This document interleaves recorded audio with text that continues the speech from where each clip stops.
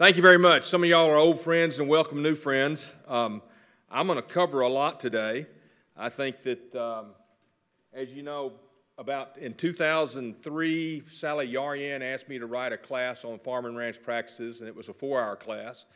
And then shortly thereafter, she people seemed to like it, so it went to a seven-hour class. And I've taught it around the state at very, various places. Uh, it's been a lot of fun for me. I, I, spend a lot of time updating the class. I'm active in a lot of different things around the state, which we'll, we'll, we'll talk about as we go. We're going to run about two hours today. Um, I'm not going to take, take a break, but you're not going to offend me if you get up and wander around. My students do it all the time. So please, please go. I'm going to go ahead. Today I'm going to talk about several things. One is fiduciary duties. I'll give an overview of farm and ranch from my opinion. Then I'll talk about fiduciary duties, and you read the list as much as I can about marketplace, a little bit about the contract, the new contract form.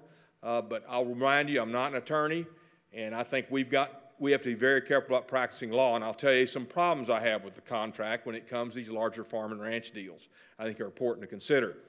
Talk a little bit about surveys and easements, uh, water, uh, minerals, and then I want to share some things with you about some content, some cases in the case law that I've, I think will be important to farm and ranch practices as we, as we go. Okay, sure, please help yourself. So, um, understand I'm going to give some opinions today. You don't have to do what I do. Uh, this is a forum, it's an exchange of ideas. I've had a broker's license for, hard to believe, 40 years now. Uh, I've done, a, I was a developer for a long time in Houston, did 20 major deals, survived the bank wars, didn't go bust, and moved back home to Austin. Uh, I'm a sixth generation Texan for what that's worth. Uh, I think farm and ranch is probably the best investment we could make with our money, and I'll tell you a lot of reasons why that we now have kind of a changing marketplace, but I think it's a great place to put our money. I always like to talk a little bit about brief walk through history. Uh, most people don't realize the United States how tied we are to Spanish colonial history. I've written books about it and spoken many times and written a lot of journal articles about it. Ranching in North America, north of Rio Grande, started at the inside corner where Cibolo Creek meets the San Antonio River. Uh, it started in the early 1700s. Uh, all the practices that we have in farm and ranch, in, in actual ranching practices, came from Spanish colonial days. Most people don't realize that. If you want to really see early Spanish colonial ranching, you can't see it in the area I'm going to show you now. If you go down to Espiritu Santo and especially Presidio La Bahia in Goliad, you'll see some of the finest examples of ancient 1700 tools and things that the ranchers used. It's very important.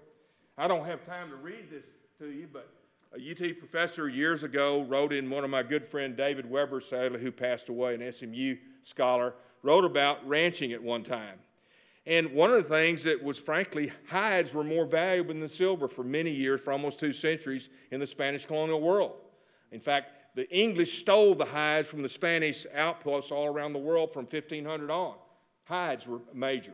As the Spaniards came across and moved into the entradas into Texas, anywhere through northern Mexico, in fact, they always dropped off a stallion and a mare, and a bull and a cow, and a lot of the Spanish scholars I like to say this the Spaniards lived in a porcine fog.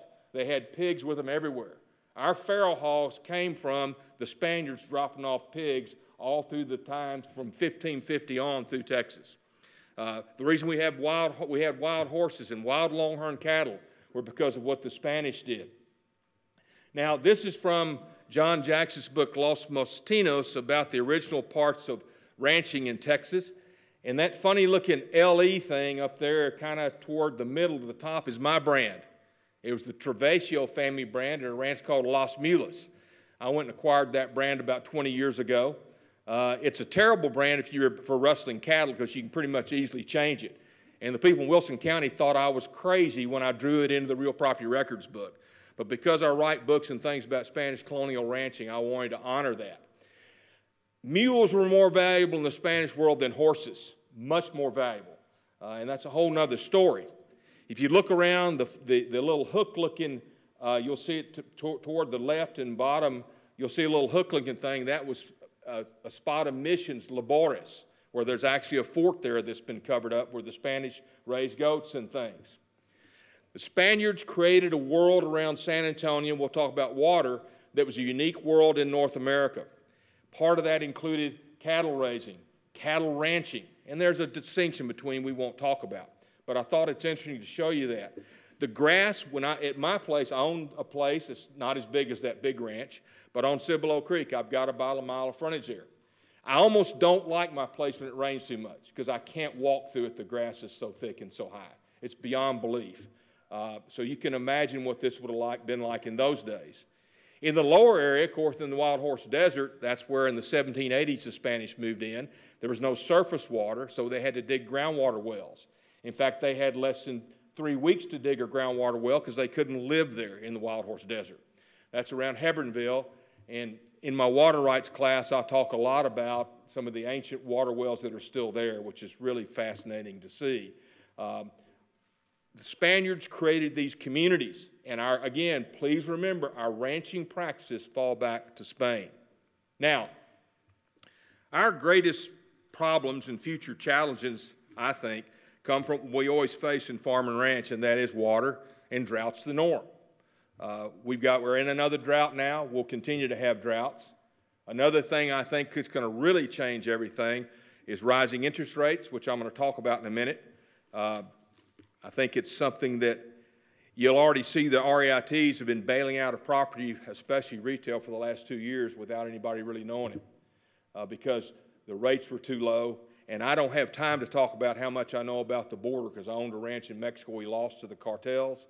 But I can tell you this much if you think things are better in the Mexico and the border, don't kid yourself. They're worse than they've ever, ever been. Uh, I, I just literally stopped to fight my children from going to Mexico. Uh, I went and test, I was asked to te- uh, speak at a large international water conference in Cancun, and I went straight to my hotel, locked myself up, spoke, and went home. And now they've had big problems in the Cancun area. It's everywhere.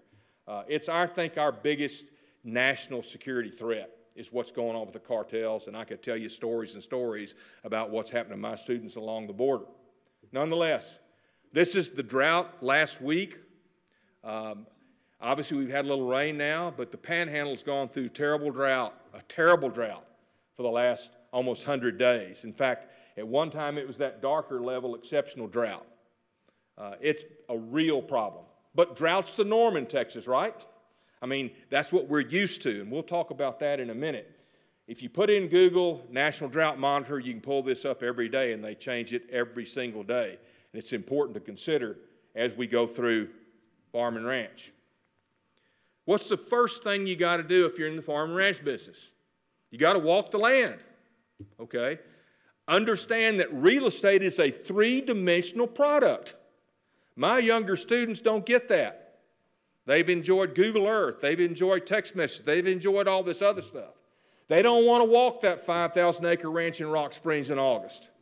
But you got to do it, period. And it's not fun.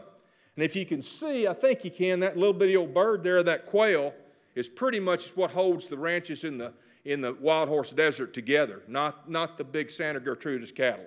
It's, it's, far, it's honey. That little old bird's on my place, and we've been through some ups and downs on quail.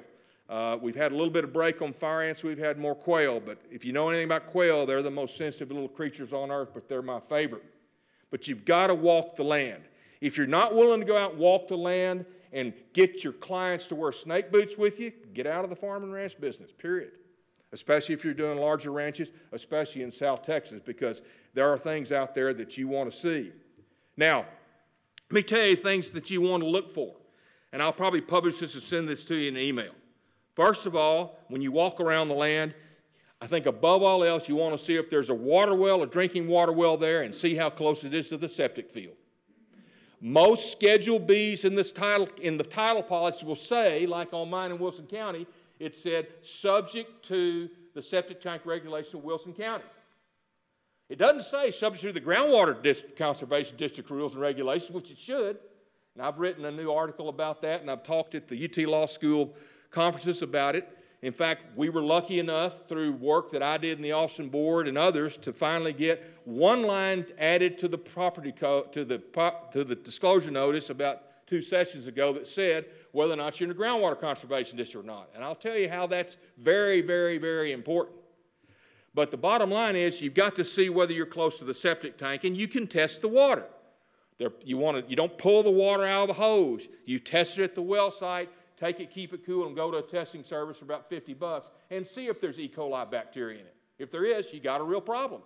You want to see all the mineral contents too. People can refer to the salt contents. It's not just sodium chloride, it's all kind of mineral salts. That's something you want to advise your client to do, right?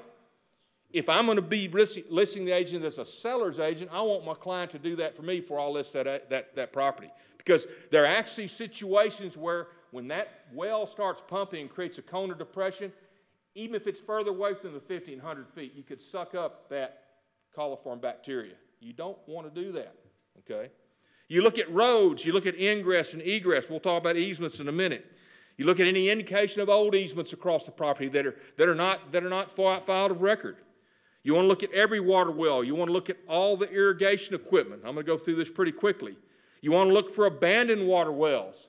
To see TCEQ, I've been on a I've been asked to speak several times to a task force they have of all the state agencies to try to go up and cover, out, cover up all the close 2 million, they think, abandoned wells in Texas. There's also abandoned oil wells. Those of you that were here in the 1980s and the Austin Chalk well days, a lot of people just left those wells open. I got to tell you something, those are a real hazard and a problem for you as a landowner. What else do you see? Trash dumps on these farms and ranches, right? Everywhere there's a little draw, they try to use it at one time to, to, to, as an erosion control. How many Dieldrin bottles are in there? What's in, what's in those trash dumps? You got to get up off your butt and walk those ranches and see what's there. There could be a time someday when somebody downstream is going to find something in the water and they'll come back and trace it to your wash that's coming through that trash dump and there's some kind of problem there. Fences, you know, what's the next door neighbor doing next to your fence? If he's got a, a, a deer blind that's pointed towards your property, you might have a problem there, right? You know, you ought to go look at that. You got to walk those fences. You look for obvious flood damages, floodplains. You look for old abandoned equipment, old barbed wire everywhere, ruins of old buildings. And every now and then you hear about somebody going into a barn, and we don't have, knock on wood, the killer bees as much, but an old fellow died a few years ago walking into one of those nightmares. Okay? Look for electric services, obvious hazards. Got a bunch of no trespass signs up there. It's kind of like when you look at a residential house that's got a whole bunch of burglar bars on it. That might give you an indication of something, right? You want to think about that. You want to look for any indication of anything that's undocumented on the property, any kind of undocumented leases and things. Of course, you want to look at stock tanks, old dams, hunting blinds, and wildlife ag valuation criteria. In other words, I've got quail teepees on my place, which are where the quail can run and hide from the hawks under things. You want to see what those are because if your ag valuation is based on a wildlife plan, which is legal, you got to understand what's there. You don't want, you want to avoid the rollback, okay? And I file a 40-page report every year with the Wilson County Appraisal District with photographs to prove that I've done all the practices. Those are important to consider. Now, I'm going to real quickly give you a few ideas of, of things you might want to consider. One of the best sites is agweb.com. Okay. Um, the next, of course, is the Texas AgriLife Extension. County agents. If you're in the farm and ranch business, you got to get to know the county agent, period. They're the nicest, most helpful people on the face of this earth. And I've worked with them for 40 years. They're a wonderful source. AgWeb has got a great young attorney named Tiffany Dowell who writes wonderful art letter uh, doc, uh, articles about basic cases. You're not a lawyer. You're not interpreting the law, but you want to see what these cases say to give you an idea to keep you current. Other things, I'll publish this to y'all, but all those are sources. The Real Estate Center at Texas A&M, if you're not using that site, you're paying for it. They're the, another group of the finest and most, most professional men and women I've ever known. Judon Fambrough, before you're retired, had written about a thousand articles about everything. And those are the things we can read and help ourselves. The Texas Farm Bureau, the Cattle Raisers Association, a group that I'm very proud to be involved in. David Faust and others are members, the Texas Alliance of Land Brokers. Livestock Weekly, If you don't get Livestock Weekly, you ought to read it if you're going to be in Farm and Ranch. It's out of San Angelo, Texas. Uh, appraisal district, feed stores, implement dealers, water well drillers. You need to run, read the agricultural code. You need to look at the comptroller's office site, Alliance of Groundwater Districts, Water Conservation Association, all those other names. If you're going to be a professional in this business, it is so complicated. These are sources you ought to use and read because they're up to date all the time. The one that will frustrate you the most will be the TCEQ, and we'll talk about that soon. Now, I wrote a little article a few years ago in, in our Texas Realtor magazine about five resources for farm and ranch clients, and one of the things I talked about, of course, was open range and closed range status in Texas. And I thought we'd have about 100 questions about that, and I got one. And we'll be talking about open closed range. You'll know the difference in this state. It's really complicated. I think an overview of all farm and ranch at this point is I don't know if the market price is too high. I don't know if it's overheated. It should sure change. One challenge we have are eminent domain cases. And with power lines and oil and gas, you got no rights, folks. Understand that. You can argue the value if you've got enough money to pay for the appraisers and get the right comps and the lawyers. Bottom line, that oil and gas fellow, like I talked to an old oil and gas attorney one night when he was drunk as a skunk, he looked at me and said, I'm going to draw that line, and that pipeline goes across your property whether you like it or not. And he added some expletives. He said, Then we'll talk about the money later. And I'm going to offer you $5 when it's worth 500000 and let you come argue with me. That's fine. I mean, we're an oil and gas state. Understand that. For a while, farm rents uh, and farm leases, we could make some money on our farms again when corn was $7 a bushel. Now it's under three. You know, and that's only if you owned your equipment and owned the land and you had an irrigation system, right? Have you, have you priced a big Dooley John Deere tractor lately? You know, nobody can, nobody can afford it hardly. Shale oil and gas is something to be careful about. We'll look at the new mineral rights addendum, which I was lucky enough to be on the task force that wrote that thing. Uh, but you got to be very, very careful. Oil prices are stabilized between 50 and 65 dollars a barrel, but whether it comes back in Eagle Ford Shale again, I don't know. Uh, our natural gas is too cheap, two dollars and 65 cents an MCF, and of course, maybe the new LNG terminals all along our coast will help us have an open market. Uh, I'm worried about, again, the overview sometime that some of these county appraisal districts may come after ag valuations and challenge it. I think we'll have a lot of support from the legislature. But when you hear certain appraisal district chief appraisers say their, their duty is to raise money for the county, that's not their duty, but it scares me. Uh, I represent a lot of appraisal districts in defense cases, and so I love what they've done. If you remember the days when we had 3,300 taxing jurisdictions in Texas that all valued it in a different way, the appraisal district system works, but it's something to be concerned about. Now, let's talk about fiduciary duties real quick. And this is kind of the, the salt in this, in this, in this seminar. Um, we want fiduciary duties. That makes us a profession. If we don't add value to these deals, the Zillows and the Googles and the new king of the world, Jeff Bezos, is going to take over our business. Okay? We can some of this real estate activity can be automated. And I just did a big presentation from our class yesterday about how many jobs we're going to lose in the next 20 years to automation. So we've got to have fiduciary duties, which makes us a profession. That means it takes a lot of work to be a farm and ranch agent. Now, the rules of the Real Estate Commission are where you find our fiduciary duties. All that's interconnected to the Texas Occupations Code, the Real Estate License Act. And if you're a member of ABOR or another board, you're a member of TAR and NAR, you're also obligated to their code of ethics. They're all interconnected. Now, if you're sponsoring agents, don't let anybody tell you that you're not responsible for everything they do. Don't let anybody tell you you're not responsible for every bit of your personal assets don't go to, to fix a screw up they made. You've got to be really careful. I don't sponsor agents anymore. They don't want to work for me. They got to basically memorize the rules. They got to memorize the license act. I'll give them a pop quiz every week. I'm 66 years old. I, I'm not going to have somebody make a mistake on some kind of deal they shouldn't be doing, and then I get to pay for it, right? Luckily, we've made some changes that helped us a little bit. Don't try to read all this. I'll go through it with you kind of quickly, but you know, where it's found is in 531.1. If you go to the first part of the Rules of Real Estate Commission, the Canons of Ethics, that's the law. If you're not a member of NAR, you don't have to abide by the Code of Ethics of NAR, even though it's the industry standard for 1,350,000 of us. But since 1976, this is the law for Texas, okay? You're a fiduciary. If you're a fiduciary, where stockbrokers aren't fiduciaries, right? We've had the retirement manager folks just go crazy they've got fiduciary duties. The number one thing is you got to put your client's interest ahead of yours.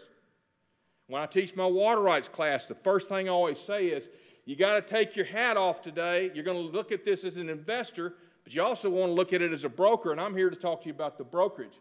And I had a lawyer friend of mine say, well, What's the difference between an investor and a broker? Well, as an investor, you owe your duties to yourself. As a broker, you owe your duties to your client. That's the biggest difference.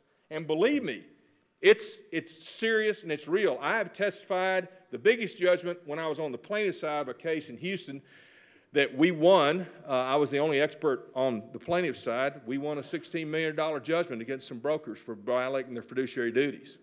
It's got some real teeth. Okay? Yet you still have to treat other parties of the transaction fairly. And our Code of Ethics, Article 1, says similarly the same thing, says you've got to treat other parties honestly. You also have to be faithful observer to the trust, okay? As a fiduciary, it's a relationship of trust and confidence. All right? As a fiduciary, it's almost like dealing with our friends at the IRS. If any of y'all work for the IRS, please forget my name. But bottom line is, you're considered guilty until you prove yourself innocent. Same thing goes here for fiduciary. If I've got a great aunt that lives in the basement and she's incompetent, I'm writing her checks. I got to prove if she's, if her, my other cousins are mad at me, which I don't have that, but if, if she, I've got to prove I was honest and loyal to her. Okay? That's a serious thing. I mean, our fiduciary duties are serious, and we don't spend enough time talking about it. Those of you who've taken my classes know every class I teach, I start up with this. Okay? Because it's serious. We've got to think about it. Now, what does scrupulous and meticulous mean? Well, we didn't, ed, we didn't uh, define that until about 2010 in Ethics Manual 4.0. Remember, we have to take now we got to take eight hours of legal one and two, used to be six hours of legal and ethics. Scrupulously, acting in strict regard for what is considered right or proper. Punctiliously, that means paying great attention, exact, and painstaking. Look at meticulously, marked by extreme or excessive care. Extreme or excessive care and considers the details careful. Now, that ought to wake you up to that, you know. I mean, that's, that's hard. I've actually seen some appeal court throw, throw out a judgment that we've had on fiduciary duties for a smaller amount up into the Third Circuit because they thought real estate, I really think the judge thought the real estate agents are too dumb to be able to live up to this standard. I really think that. I don't want a big judges mad at me. But I mean, it was shocking to me with what happened that they, they did that. But understand this is something that is, is the way you define those things. Integrity, 531.2, it's fidelity, integrity, competency. 531.2 says you've got to employ prudence and caution. That means you got to do something, okay? So as to avoid misrepresentation anywise, by acts of commission or omission. You hold yourself out to be a farmer and specialist. What's an omission? You don't walk the land. You don't notice the oil well there. You don't notice the water well there. You don't look at the, you don't read the title commitment that comes out. All those kind of things are an omission. If you're in the commercial brokerage business, there are a hundred omissions you could do. How often does it come up in a lawsuit? Well, it's like my old friend Bum Phillips said. Most people don't realize before he coached the Oilers, years before he coached at Jacksonville High School, Coach Pete Lammons. He always had this great saying. He said, There's two kinds of professional football coaches them that's fired and them that's going to be fired. In real estate brokerage, if you're in it long enough, there's two kinds of brokers them that's going to be sued or them that are being sued. And you've got to avoid it. How do you avoid it? It's by being scrupulous and meticulous. It's by keeping notes with everything you do. What you write down when you deal with a client on your notepad is as good a document as something come from the county. And you can stand in front of that jury when they're accusing you of something. You don't talk to the lawyers, you talk to the jurors. I did everything I could. Put it in writing. That's what you got to do. It's a pain. But you got to understand about these things out there. People in my sorry generation started not taking responsibility for anything. I bought this, I'm unhappy with it, but it's not my fault. I didn't make the wrong decision, somebody misrepresented it to me. Okay? And so think about when you go to a new doctor, they give you a clipboard with a bunch of questions. Part of that's to understand about your health, but also they want to get their money from you someday, right? Well, think about that when you deal with a client, that you've got to be careful in what you deal with that client from day one and understand that client may be your best friend now, but people are funny about their money. So I think you've got to be prepared for that. Competency, you've got to be up to date on state and local issues. Okay? Farm and ranch practice is a very local business, right? You've got to understand the local areas. You've got to go into those local business cultures. You've got to be up to date on those issues. There are different issues around the state in farm and ranch than in different parts of the state, right? You've got to exercise judgment, skill, and performance to work. 535.2 says brokers owe the very highest fiduciary duty. That's the second time they tell you that, okay? The third time they tell you that is 535.156. So if TREC tells you three times you've got fiduciary duties, you got it. All right? And I just took the Legal 2 instructors course the other day. And guess what? We didn't stress that enough to the instructors. And I didn't say a word about it, but I wanted to scream about it. Because this is, this is cornerstone foundation. Look at C. You've got an affirmative duty to keep the principal informed of all significant information. Okay? So if you go to the TREC website, pull down those rules and print them out and read them. What I would suggest. All right tied into the occupations code. You can lose your license for acting negligently, and incompetently, dishonest, bad faith, and of course, not talking about known defects. Now, what's a known defect? Actual knowledge so far. Now, let's talk about disclosure for a minute in farm and ranch. Property code says, as one of the exceptions, other than the fact that the federal government banks don't have to don't have to disclose anything, which is totally unfair if y'all have ever dealt with them. But it says that you don't have to fill out a disclosure notice on a residential house on a farm and ranch if the house is worth 5% or less of the total value of the property. Okay? But I'm of the belief that you want to at least advise your client to disclose everything they know about all defects because you want them to keep their money when they sell the deal, right? To me, that's important. And many times, these higher priced pieces of land may not, the, the, the improvement may not reach that 5% level. But you want to advise your client, I think, to do that. That's one of my opinions about that. So that's one of the ways I think in the disclosure notice you might could avoid that. But I'm not telling you to avoid that, please understand. Actual knowledge of a defect is still the standard. But the TREC rules could be interpreted as constructive knowledge. That means if you're a professional and you should have known about something, then the law says you actually knew about it, therefore you're liable. But so far, knock on wood, in all the cases I've testified in and all that I've read, we're still held to the actual knowledge standard. We have to prove we didn't have actual knowledge about that defect. But if I walk into that farmhouse and the ceiling's caving in and the seller hadn't told somebody about it, I probably have actual knowledge, right? Jane Cohen, a, chair at UT Law School, and I teach in our class now and then, and she and I have done some conference together. She says, just like I say, the, the definition of scrupulous and meticulous under our fidelity obligation, I think, gives us constructive knowledge duties. But I don't want to let that out very loud because nobody, other lawyers don't need to know about that. But let's think about what we really offer the client. That's what you're here for, is to learn about what farm and ranch practices. What do we really offer the client? We don't offer them expertise in the way you do a transaction. That's, that can be done. We can help them with that. But we have expertise in the characteristics of the local market, right? That's what we offer the dentist from Dallas coming to Ozona. That's what we offer to the Chicago, Chicago Board of Trade guy that wants to write $30 million in a check for a ranch down there in South Texas. That's what we offer. That's what we need to think about. Now, I want to talk a little bit about the marketplace.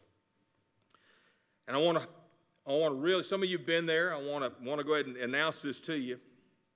The Texas Real Estate Center is having their 28th annual Outlook for Texas Land Markets, April 26th to 28th in San Antonio, where they normally have it.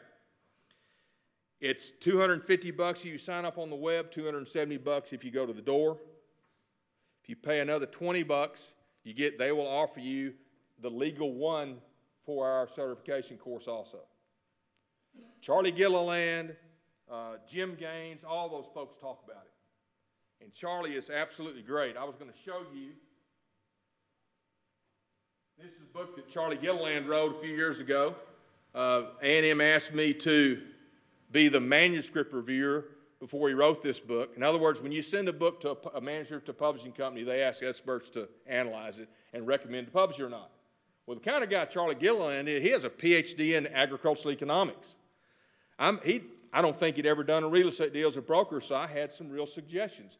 I'm different as a manuscript reviewer. Most of them hide behind anonymity. I just give them my name right off the bat, okay? He modified this book to fit some of the brokerage practices, and the kind of guy is he came up all the way from a&M just specifically buy me lunch and thank me for doing it. It's a great book called Buying Rural Land in Texas by Charles Gilliland. If I was a broker representing buyers from other parts of the country, I'd give them this book. I'd also give them my book called Sharing the Common Pool, Water Rights in, every, in the Everyday Lives of Texans to understand about water rights. Because where does land get its most value? Land with water has value. Land without water has a lot less value, right? So I, I want to tout that. Well, Charlie's the one that will put the will probably be one of the main speakers at the Outlook for Texas Markets. Now, there's no real MLS system for farm and ranch properties. I'll show you some things. I'm a member of the San Antonio Board also. They have some comps. A lot of it's done off and away from MLS. There's a lot of privacy in those transactions. And each tract is very, very unique and very, very complex. So if you're going to do some kind of competitive market analysis, you got to be careful with it and understand that you're. What's the big thing to do in these things? It's true comps, right? I hate the word apple, this phrase apples to apples and oranges to oranges, but that's what you try to do. They're really complicated. And I just printed out, put in some categories in the MLS system of the San Antonio Board of Realtors the other day and I, I searched it for the last year in different counties where the mineral rights conveyed, what water was there, and their prices all over the board. You know, from $3,000 an acre to one that each shouldn't even count, $47,000 an acre. That's an anomaly. If I actually went into there, started to have, started to put in some other things where they calculate the price per acre, and it was all screwed up. It didn't even relate. So you have to kind of do this yourself. But the bottom line, you know, you're looking at some of these down there, even the larger, you know, 100, uh, 500 acre tract sold $3,438 an acre in Bandera with all minerals. Some of you that have practiced farm and ranch for a long time know it's hard to get these comps, right? But it's something I think we've got a duty to do with our people, and we've got to be able to treat people fairly in that regard. Now, you see all kinds of things. You see this one in Kerrville is 2.295 2 million, just six acres, okay? I mean, it just, it's hard to tell. You've got these fancy booklets that absolutely amaze me for the amount of prices that people are asking. Uh, I've heard that in around Weimar, Texas, which is a nice place, uh, got friends there that, you know, some of the land's been selling at $17,000 an acre for little 100 acre tracts that's just pasture land. Who knows? Y'all may have experienced all kind of prices. It's going to be unique to the area. Now, this is Charlie's report at the Texas Alliance of Land Brokers, of which I'm a member, back in June, and it shows a nominal price, how the prices are gone up, then, an, then a, an adjustment for the way the money's changed through the years. That's across the whole state, so it doesn't look like it's gone up as much in the Austin Waco Hill Country regions, you can see by that some interesting prices. Um, I've actually been involved in a case down in the Hebbronville area, uh, down a little bit back toward Laredo to the to the west, down close to the Rio Grande, but not without without frontage on without frontage on the Rio Grande.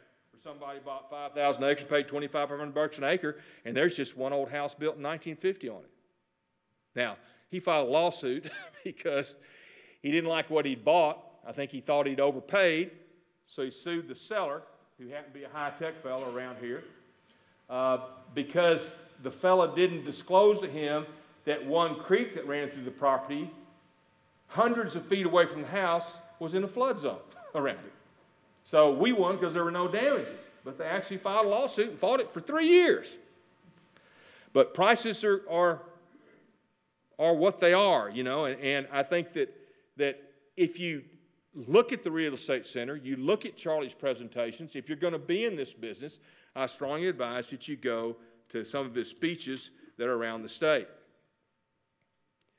Now, forgive me for being an academic, but I want to talk a little about the definition of fair market value, okay? And I've done this about water, but it's the same definition of fair market value.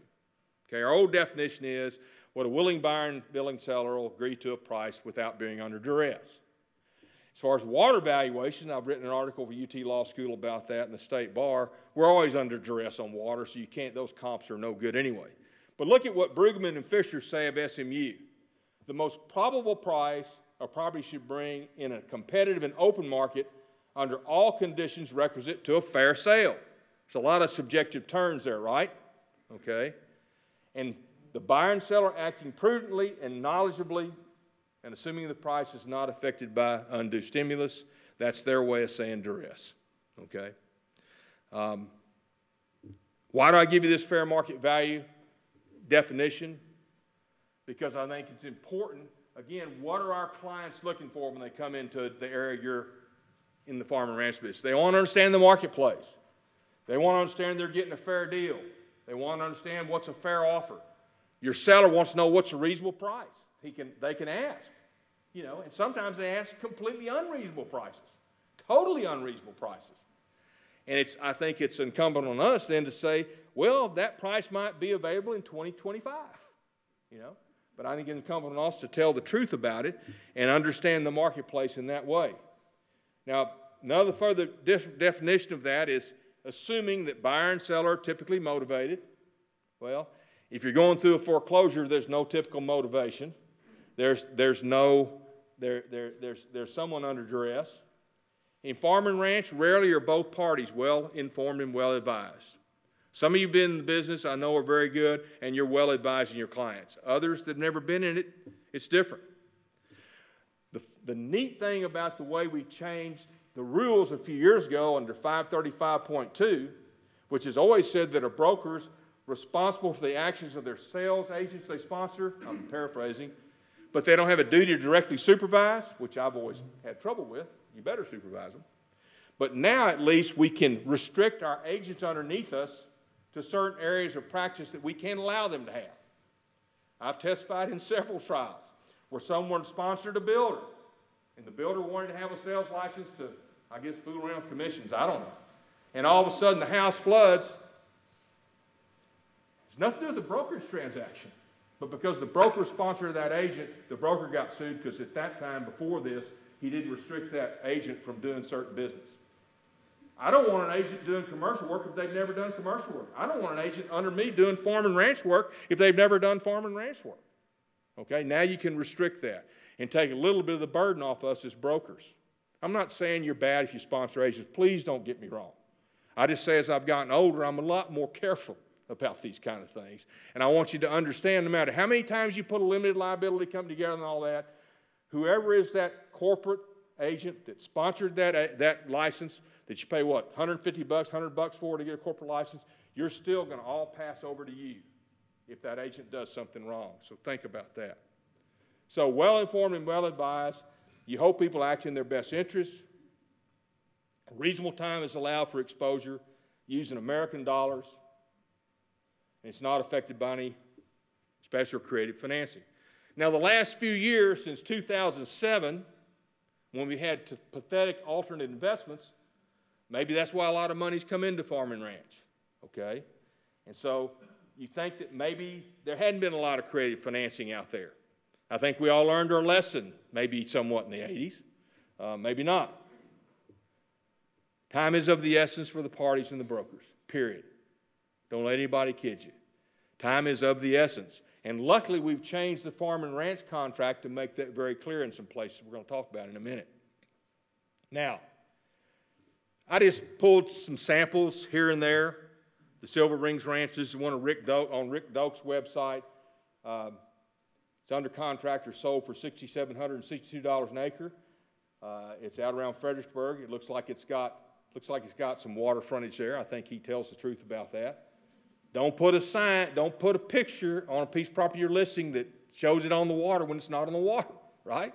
What's the worst thing around here? I, I remember the first time I served on the board of directors here before I was chairman of the Austin board. One of our directors came in back when everybody advertised in the newspaper. She had looked at the Sunday newspaper. She had one page of the want ads. 75% of every one of those want ads misrepresented water frontage up on Lake Travis. It was beyond belief.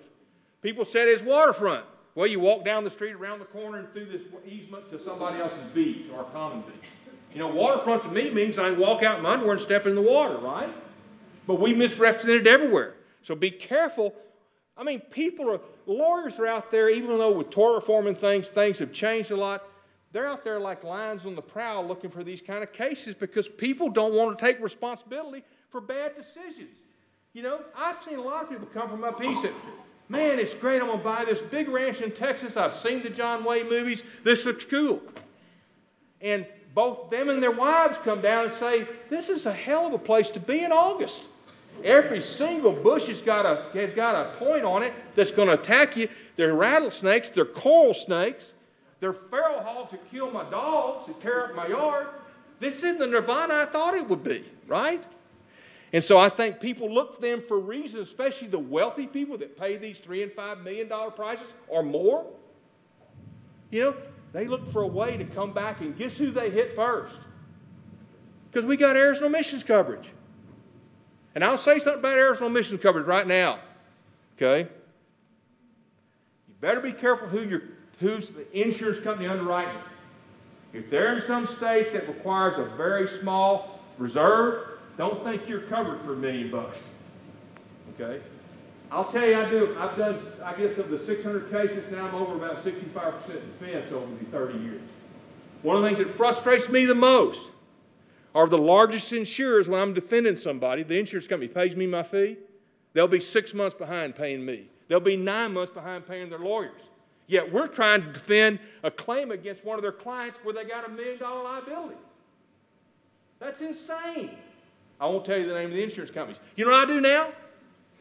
You're going to pay me my retainer by wire transfer you before you put my name in that case. I don't need the business. I don't want the trouble. The moment your name is an expert, there's a ticking time bomb that's lit in your schedule. I didn't go on vacation for 10 years. I couldn't go anywhere more than a few days because I had to come back for something somewhere else. I'm not complaining. God was good to me. But it's amazing how you better be careful in errors and omissions coverage. I really mean that. Don't get the cheapest. Some of you have already learned in your life when you buy insurance, don't get that cheapest insurance. Because what do you want? You want to pay a claim, right? Anyhow, that's an aside. Y'all know about the Waggoner Ranch deal? You know, $725 million plus. Unbelievable. Um, Sam Middleton did it with a guy from Australia named Bernie Ulrich or something. Uh, the Waggoner family, apparently heirs, have been fighting over it for a long time, and one guy walked in San Diego and wrote a check for over $700 million. Pretty nice deal. The way I spoke and gave a presentation about an article I wrote about the history of the groundwater district bill that Charlie asked me to write, speak at one of the land conferences in San Antonio, and these guys got up and spoke to the audience right after me, and the guy from Australia said that Sam Middleton was the steak and he and the Australian guy was the sizzle. Man, they sure talked a lot about that deal. Well, I guess you could about $725 million. Lake Creek Ranch, notice there's water on it, $8,700 an acre. That's an asking price. And you can see these prices all across the board, everywhere you look, as y'all well know. So, you know, this group right here, Texas Alliance of Land Brokers, is one of the better groups if you're going to be in our business. I'm a member. Others of your members, I would strongly advise you to join. We have pretty much monthly luncheons. We have speakers that come and talk at those luncheons. Uh, the food's good where we go. Usually it's in Stonewall or other parts of the hill country. And I tell you, if you're going to be in this business, if you want to be in the farm and ranch business, get into this group. Uh, I'm real proud to be a member of it. I got in the group about a year ago after they asked me to speak at a luncheon and I got to know everybody there. Um, and one thing led to another, and I got them in the education business. Uh, I wrote a course about water rights. It's a certification course with Jason Hill, I may have mentioned, and I think they're a great group, and they're, they're, they focus on farm and ranch transactions, period. All right. The T-bill, 10-year T-bill, little economics. I'm not Mark Dotzour, don't get me wrong, I'm sure not.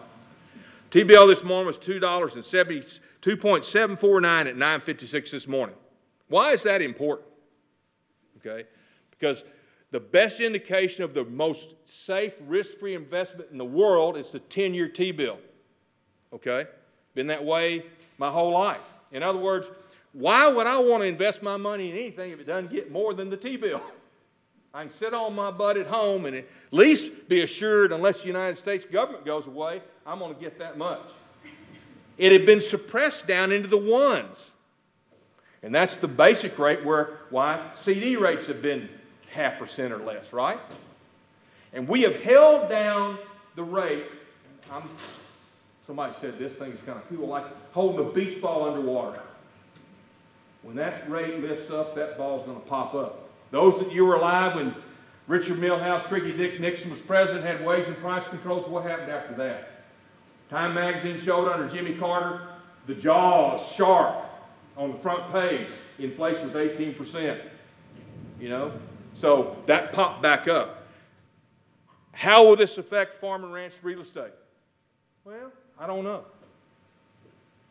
If I can get 7% on my CDs and be 100% protected by the FDIC and spread it like Oveta Culp Hobby used to do when it was $100,000 in the 70s, she had one staff of people that did nothing but put $100,000 in every new savings loan bank across the country. That's how much money she had because it's protected. As you get older, you want to protect your money more. But you watch this T-bill rate. That's why the REITs, REITs have been bailing out. Sam Zell sold an office building right to this area down here on, three, on uh, 360 at a 4% cap rate. Somebody bought it at that. That adjusted to a very high price on the net operating income, right? Well, now this has moved up to 2.8. That cap rate to value that building is probably like at about a 7. That means whoever bought that building sees that value of that building drop by 20 or 30 percent, and they did nothing wrong. They got the same tenants and things. So watch this rate. If it goes back where it should be at 3 or 4 percent, you're going to see the banks compete for CDs at 6 or 7 percent again. Then again, if I'm that dentist from Dallas, do I want to put $30 million in a farm and ranch at these high prices? Maybe not. For what it's worth, that's only an opinion. That is not scientific fact. All right. Contracts and revisions. Now, this is where you're going to hear my opinion. As a practitioner and having bought many, many properties for myself and been involved as, a, as an agent in, I think, well over a thousand times in 40 years. The first thing I'll tell you is to consult an attorney. There's a common phrase in all our promulgated forms it says one thing consult an attorney. Now, a lot of y'all adverse to attorneys. Every single piece of property I ever bought, sold, or dealt with, pretty much, even as a broker, I've always had an attorney on my team. Now, I don't bring a downtown Houston attorney to Ozona. But part of the things I do is I understand that legal culture. And I've testified enough all around this state that there is a different legal culture in every, every community. Okay? I think you've got to consult an attorney. I've never seen an attorney that was a hindrance to my deals. One did one time when I was real young, wanted to take over the deal, and I fired him instantly. But I've had Brad Bracewell, Tim Taylor, Jackson Walker, Jim Nice, I can name a bunch of them that have been great support in that team. My opinion consultant attorney. Here's where I get into things that you're going to find different. Have an attorney add a feasibility period of free look and try to negotiate that it does not begin until all documents are received. Be like we are in Austin in commercial property. Long ago, you don't have a time frame on your feasibility period in Austin. It's based on an event. That event is not getting zoning approval. That event is getting site development plan approval. It takes two years. Don't let anybody else kid you. It's not based on a time frame. It's an event. So that event, what good does a two-week time frame do you if you get all your documents on the 13th day? You can't adjust to it. But people do that all the time.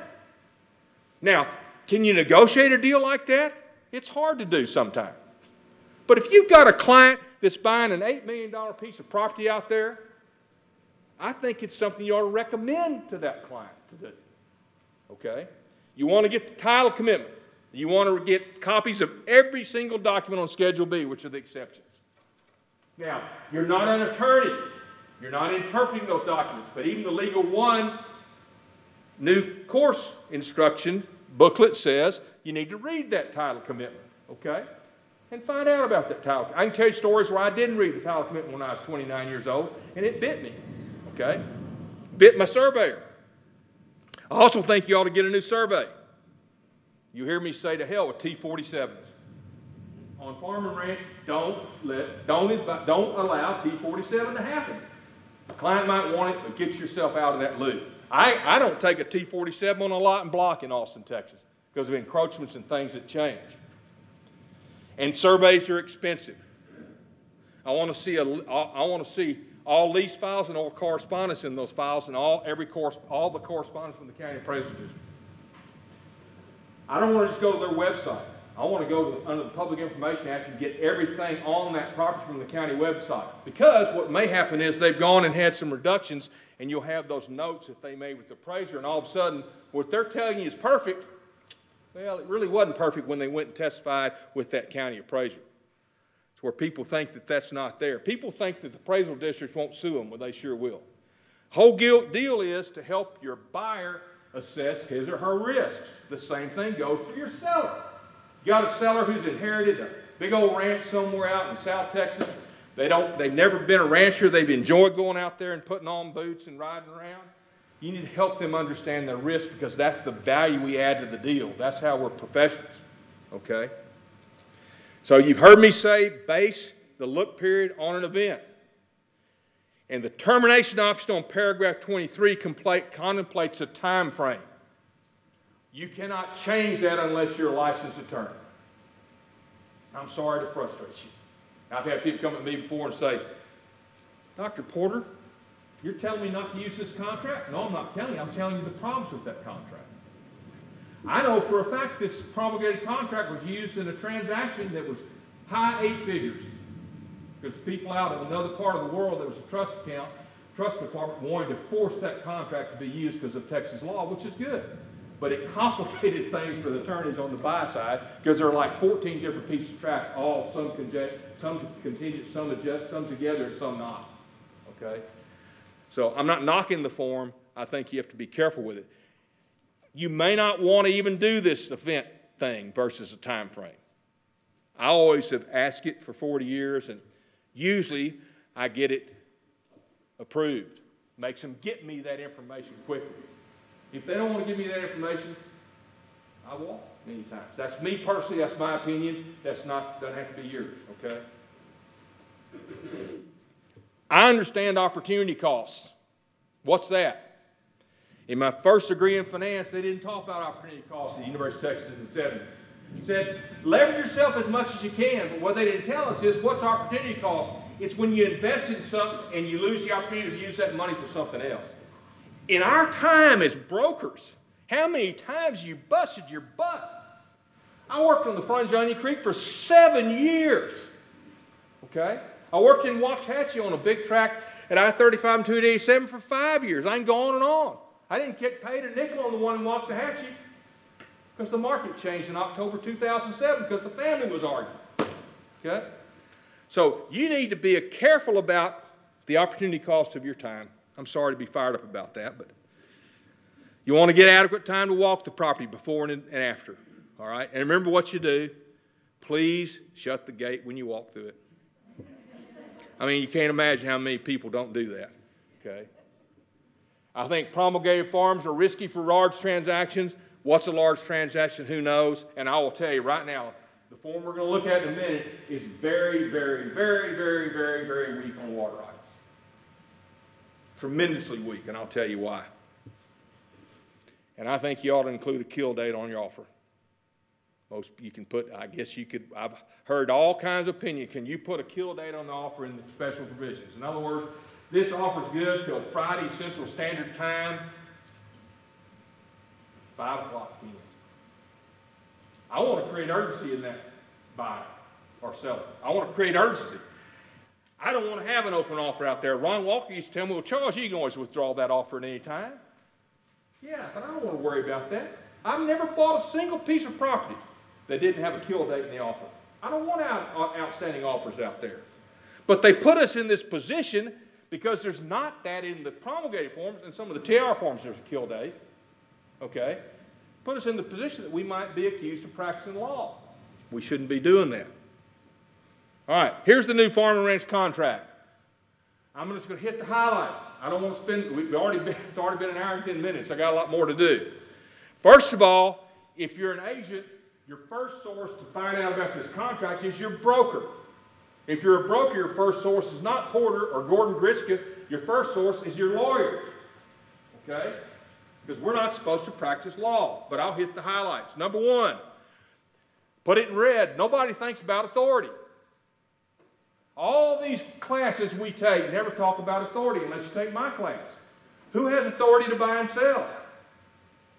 And a lot of these big ranches are all fragmented between brothers and sisters that really love each other, but they have different interests. Now they hate each other over the ranch. I can go over 10, I can name them to, I can tell you some really fun stories about it, where I've gotten in the middle of it. You know, remember when you used to buy something in corporate name, you had to have a corporate resolution before you sign that document, right? So authority is important. You know, don't assume authority if you're if a, a, a, a man and woman that are married are selling, because you need to find out what if they're under in a divorce. Who has authority then? Don't get yourself where you're wasting your time on some kind of deal because you don't know if they've got authority to sign, both seller and buyer. To me, that's really important. We overlook it. The other circle I've got there about the land, how you describe it. Well, the one I'd put in there is C Exhibit A. That'd be the field notes and the survey attachment and a proper description of the property. And don't allow the property to have the first starting corner be a pine tree that was in 1905. You know, a lot of surveyors use that. In fact, we'll talk about surveys in a minute. You know, you can. Use, I have a collection of, of 18th century surveys that always show a little house and show the tree where it started. That doesn't work, folks. I think that's pretty risky. All right. Now, the rest of that, if you see under there where it talks about with all rights, privileges, appurtenances pertaining to under property, but not limited to, blah, blah, blah, that's the Mother Hubbard clause. Trying to catch everything. We don't have time to talk about it, but there's a better Mother, Mother Hubbard clause. But I know the pressure that the broker lawyer committee is on. They want a shorter form contract because we gripe about it being too many pages, and they want to try to limit it as much as possible. I disagree with that. I don't care if this contract's 50 pages. I wanted a higher, bigger font so people can read it at my age. Nonetheless, what it, for what it's worth. Okay, the good news is look at where it says reservation. You to say put the reservation special provisions. Thank goodness we cut that silliness out because that's practicing law. Okay? But guess what it says? In accordance with an attached addendum. There's only one addendum we can use reservation of mineral rights. What about water? What about timber? All, I'm going to propose an addendum. I'm going to have to get, just like when I did, started the process on House Bill 1221 to add the line about groundwater districts to the property code. I started buying 10 or 12 lawyers lunch and breakfast at the Austin Club for a year to get them to write that sentence. Well, I didn't mind. I was offered money. I turned it down because I was on TR committees. But when I walked in front of the legislature and I had 200,000 members of the of TAG, TAR, Austin Board, Texas DSAL, and Texas Water Conservation Association, they didn't ask any questions to that. You know, that's what it takes in our system. My next thing to do is to try to get those addendum written, and the next thing, we need to have a paragraph in this contract about water. Hell, we got a paragraph about propane, right? We got a place where it says if you're an agricultural development district. Well, guess what? There's never been an agricultural development district yet, but you got to check yes or no. But we have for we we passed the Groundwater Conservation District Act in 1949. Okay. And we have never had any mandatory disclosures. I've already said in front of many speeches, it would not have passed had it been called the Groundwater Re- Regulation Act. But believe me, if you're in a groundwater conservation district, you violate those rules, you're looking at five thousand bucks a day if they've got the money to even send somebody to enforce it, which we'll talk about.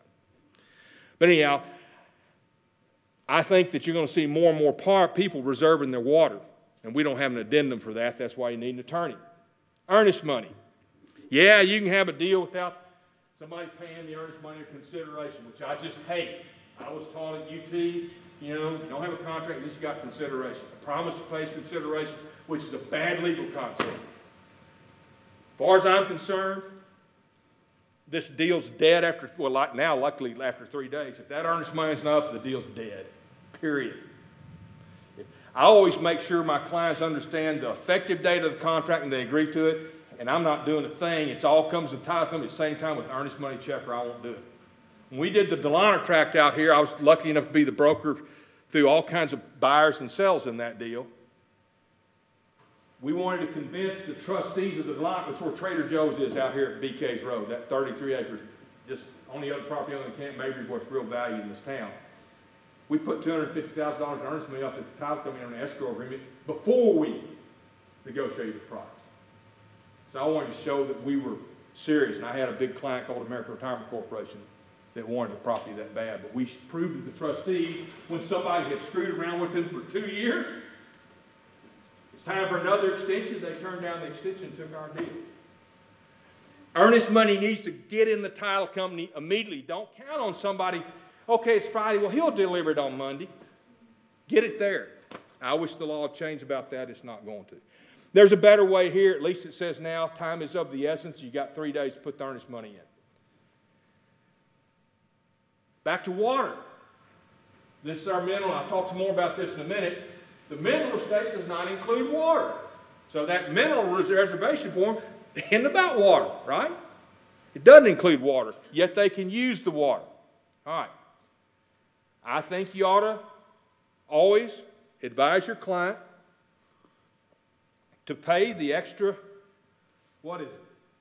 15% of the basic rate on the title policy to delete the area and boundaries exception in the title policy. Y'all know what that is, right? Title company insure the property, but they ain't gonna insure areas, shortages in areas, and boundary exactly. I learned that a long time ago in Houston, Texas, buying property on Augusta and Bering Drives, where we're paying twenty-seven dollars a foot. That foot made a, that's a difference when you've got two, three acre tracts, you know? Got enough problems as it is in most of these old subdivisions. You got different surveys tying into different benchmarks in the street. I can tell you story story. That means there's a musical chair out there somewhere on Augusta and Bering where there's a foot missing somewhere that's going to come about. Now that property's worth $100 a square foot. Okay? So I think you ought to delete the errors and the sections, and it takes a certain kind of survey, but you can do that with the title company. Um, y'all, many of y'all probably already done that. Okay? I think you ought to get a new survey. If you use it, your client uses the T47 certificate, allows the old survey, understand what that says. It says, to the best of their knowledge, the seller doesn't think anything's happened since then. When I got back to Austin, Texas, started doing brokers, I was so shocked that the buyer normally bought a survey on residential. I just, in Houston, culture was you always had a survey. You know, I don't want to represent somebody as a seller unless I've got a current survey. Why? Because I want to know what I'm selling. You know? And surveys are expensive, and surveys are frustrating when it's busy, right? Hard to get a survey out there. So that's my opinion about T47. Remember this. If you look at it, it says prior to the execution of the contract, sellers provided buyer with these copies of these exception documents. And you don't get to object to them if they're put there. Let your buyer understand for you, they're going to give you documents beforehand. You're basically giving approval if you don't, if you list, list them there. I don't think that's right either. Different leases. There's the Agricultural Development District. How do you find out if there's one that slipped in since the last time you looked at this? You go to the Agricultural Code, put in Agricultural Development District, it'll say no. What was an Agricultural Development District? At one time, it was set up where you could have a local district that allowed the state to help you issue bonds to develop agriculture there. And It never was gonna work if farmers too independent to work together like that. They may already be in a co-op as it was. But none of them wanna have that agricultural district going and, and have any bonded indebtedness. Notice the water level fluctuation, that's about big lakes, okay? Here's the big bugaboo. Who pays for rollback taxes? And that gets into a big argument. I won't have time today to do it, but you can go to certain appraisal district sites, and they'll tell you how they calculate the rollback. And that five-year rollback can bite you pretty bad real quick if you lose that ag valuation. Please never say agriculture exemption, because we're not exempt from paying taxes. Even though in Kerr County, you can, if you have ag valuation, you can basically reduce your tax, ad valorem tax by 97%. That's another reason people buy farm and ranch, right? But if you screw up, or that appraisal district decides to declare war on you, and you're not really in the agribusiness, that five-year rollback can sting you real, real quick. Real quick. So it's something to consider. And of course, the termination option is fine for residential properties. It's okay for a simple farm and ranch. I'm scared about it. And where it says here for nominal consideration, I'm going to try to, I'm selling a $10 million piece of property, I'm going to take $100 for the option fee. Uh-uh. I ain't going to do it. Because I'm missing the opportunity for that to be seen by some other dentist from Dallas who thinks they want to buy a ranch in Hebbronville. Okay? Consultant attorney, there it is again. Y'all are tired of hearing that. Here's what I think needs to be added to this contract. And I've been advised not to go through the broker lawyer committee, but run it through the legislature. Two water rights addendums, one for groundwater and one for surface water, if you're going to reserve them.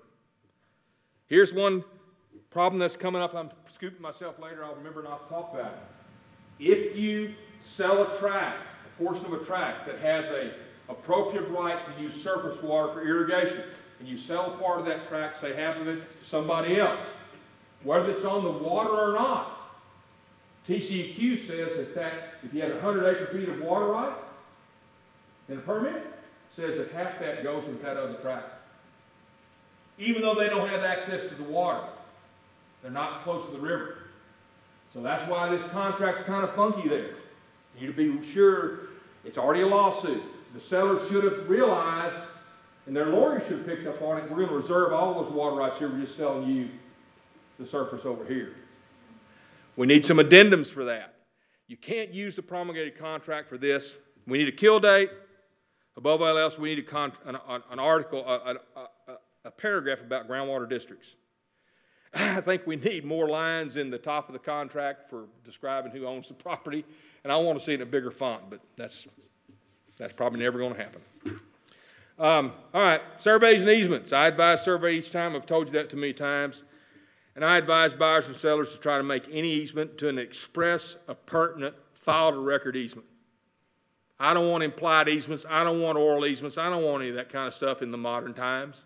I don't want the, I don't care if great grandpa made a deal with Billy Pete's great grandpa. Let's get it in writing. Okay? Absolutely. Now, will I buy a property with an oral easement? Maybe. But you can sure tell those easements, right? When you walk the land, if you've done it right, you see an odd gate somewhere, and you see two, two, two lines in the dirt where they've been driving across the property. You look at the survey, you look at the schedule, schedule B, and it doesn't have it, right? So you need to ask questions about that. That may be critical to you someday. Um, anyhow, surveys and easements. What's a survey? Y'all can read that as well as I can. What comes first? Title commitment or the survey? Title commitment. So you better get that, make sure that surveyor goes and gets that title commitment. Most surveyors do it, but I learned my lesson at 27 years old when one didn't do it. I won't tell you the story about that. I bought my way out of it, but it was a nightmare. Also, I want them to plot where that floodplain line is on the survey, not just in the cartouche or the key. If there's a flood zone, I want them to draw it across the survey. I want to have a visual representation of where that line is. And then I want to be able to have enough sense to check the elevations. I sold an expensive house up on Lake Travis from some friends of mine. I made them work six months before we sold it because it was a family thing for 30 years. We sold it, had a new survey done. They didn't gripe out there from Houston. They understand that system. And the surveyor had the house in the middle of Lake Travis because he screwed the elevations up. Well, I'm not a surveyor, but at least I had enough sense to know that that couldn't be that way. Made a mistake on his CAD drawings. So, advise your client to get an accurate survey. Don't accept a tree as a corner monument. Forget the T47. Now, I always talk about fences here. Everybody thinks they know a lot about fences. If you're going to be in our business, you need to read the Texas Agricultural Code, period. You don't have to be a lawyer. Just like if you'd read the occupation code, read the agricultural code. We go to great lengths with support of the Capitol to make this wording understandable. We had to change the occupation code this last session. I didn't even know about it. Didn't have to. The legislature, the council, changed some wording of some things, little stuff. But read the agricultural code. Talks about sufficient. It talks about sufficient fences. Okay, gates. How many gates you've got to have? Open range versus closed range. We'll talk about that in a minute. Don't try to read all that. It's just giving you an idea. Those guidelines are there, right? Now, if you're walking the property and you see some odd looking fence, you kind of really impress your buyer if you kind of understand this stuff. You know? What can you do about it? Not much, but it helps to think about it and understand it because there are guidelines about fences. You can have a boundary agreement, okay? Fences don't establish property lines, surveys and legals do. All around my area, down around Floresville where I've got my place, there's sometimes two or three fences stacked up against each other. You know, different people put different fences here and there, so it could create a strip, could create a gore. That's where there are things that are outside the boundaries. You've got to be aware of that. You got to have formal boundary agreements where people have agreed to things. You got to work that out. And anyhow, I won't get into this, don't have time, but you could have a boundary agreement with somebody. I would advise you to get that boundary agreement writing and adjust your survey accordingly or figure out some way. If somebody's taking 30 feet of your property in a boundary agreement, maybe they ought to pay for that 30 feet. At least that 30 feet from you, unless you're just, you know, uh, unless I guess you feel that they're a charity case, you want to give it to them. Livestock and fencing, open range. That means in Texas, we assume that all areas are open range. Okay? That means if I want to keep the cattle off my property, it's my duty to fence it and keep the cattle off. Okay? And I started studying with my interns to write another article about open range, closed range in Texas. And guess what? It it, there's a different rule in each county if they know they're open range or closed range. Most don't. There's no place to go for it. You can have open range for horses and not for cattle in the same county. Open range for goats and sheep and not for cattle. Judon Fambrough, when I talked to him about it, said, You're about to write the longest article you've ever written in your life because every county's different. And some counties aren't allowed to have anything but open range. What's the big difference? If it's a closed range county and they've had an election, and when you call the county clerk, they won't, most of them won't know unless the election was recent. If it's closed range and I got to keep my horses and cattle on my property, it's my responsibility. If they get out on the highway in a closed range county and get hit, then it's my responsibility. It could be a Class C misdemeanor. In that little five question article I wrote several years ago in TAR magazine, that one question came in, and I advised him to call the agriculture department. And I really thought, I talked to somebody there, they had to help me out. He called that article, and the agriculture said, we don't know. He called his county clerk, don't know. Called the ag life extension, didn't know. We got 254 counties, folks. Open closed range is important to consider. We're mostly an open range state. When I asked about it in Wilson County when I first bought my place, they didn't have an answer. So they quickly tried to have an, a, election about it. Well, the first election was closed range. Then somebody threw the election out because they didn't do it right. Came back and did it again a year later and it's closed range. So I keep my place fenced because I don't want people. Think about it. If you're growing a crop of corn, it takes you what? Several weeks to get that corn in. You work your butt off. If you ride the tractor yourself like I do, here comes somebody's horses and goats and stomp the corn down just about the time you know you're ready to make some money from it. So Anyhow, this is kind of the ugly part of farms and ranching, right? All right. Again, there are some little oddities in the law. I'm not a lawyer. Here's that old actual knowledge idea again. If you didn't know your cow was out on the street and you had it hit, then you might not be held responsible. Of course, you can't count on that. You know, if you don't, if you got a bunch of, if you got buffalo on your place, you probably all go down and see if they're busting the fences down, because they tend to like to bust fences. All that's something to think about. All right. Abbott said it's mostly open range. 21 counties won't allow the option, and that goes back into the 19th century. If you're a farmer and want livestock, build you a fence, okay, and make it a good fence. All this cut that I've got, even though my skin's getting thinner as I'm getting older, comes from doing fixing barbed wire fencing. I just hate it, especially in August. But you got to do it. Okay, strays, you don't get to keep strays. Here it is in the code. You know what you're supposed to do if you see a stray in your place? Call the sheriff in your county. Have anybody ever done that? Good. I did it because my wife, I had some horses on my place. And since I've got frontage on Cibolo Creek, it floods twice a year whether there's a drought or not, and people's horses ran on our place. I kind of liked them being there. You know, I kind of like to poop around my oak trees. My wife couldn't stand it. She's pure Irish, and man, she's mean. So I didn't know what to do, so I called the sheriff. And thank God I did, because it was his horses. and I, I just bought that place, and I was considered a city boy, okay, down in Wilson County. I'll tell you stories about that too. But I got to know the deputy sheriff real well, and we've been fast friends. He was a neighbor. It was his horse. He couldn't find him. He said, You're the first guy in my 37 years of being sheriff that called me about a stray. So there's the law. You don't get to keep them. All right. Easements. Write this down. Easements in Texas. Technical report number 42 by Judon Fambrough in 2013. It was updated in 2013. It's a 22 page document. Doesn't take a lawyer to read it, but they're tremendously complicated, okay? I'm going to hit the highlights.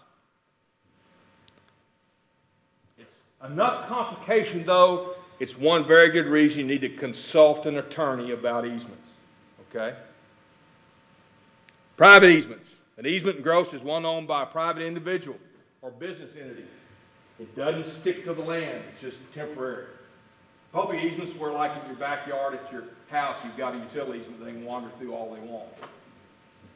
One of the big nightmares we've had down in South Texas, and I was fortunate enough to help a friend of mine on a family that has 370,000 acres down there since 1890.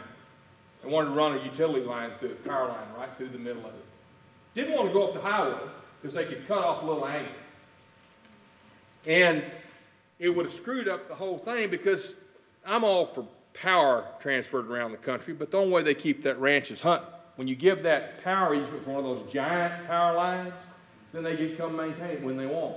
And here you've got a bunch of hunters in there paying you $15,000 a gun, and here comes the guy driving through, honking his horn and drinking beer, whatever.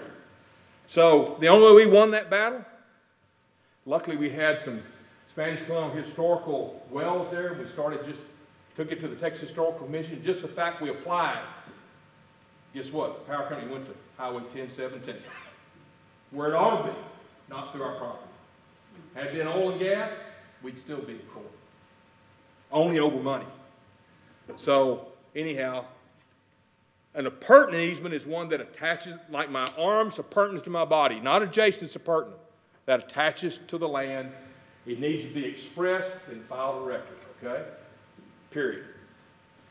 You're not a lawyer. If you see these implied or all these other strange easements I'm not going to talk about, you want to get your advisor client to get an attorney to make that easement public record and define that easement. It costs money, but it's important. I've been involved in several of those cases. What happens is, you know, what happens to our big ranches? They're fragmented through divorce, through inheritance, all those kind of things, and what used to be fun was not anymore.